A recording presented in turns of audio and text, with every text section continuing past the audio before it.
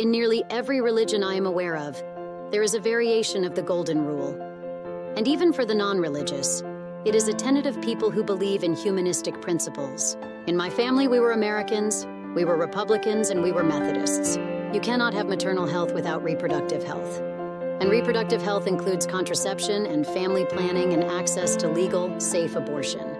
Voting is the most precious right of every citizen, and we have a moral obligation to ensure the integrity of our voting process. In the Bible, it says they asked Jesus how many times you should forgive, and he said 70 times 7. Well, I want you all to know that I'm keeping a chart. Women are the largest untapped reservoir of talent in the world.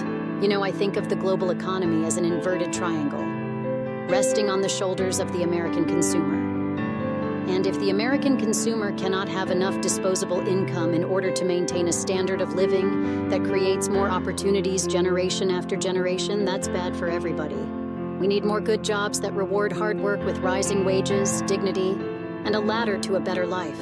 There is a sense that things, if you keep positive and optimistic about what can be done, do work out.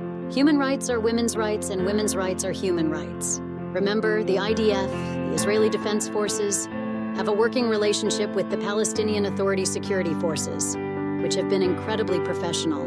I'm undaunted in my quest to amuse myself by constantly changing my hair. The need for peace in Northern Ireland goes well beyond political stability.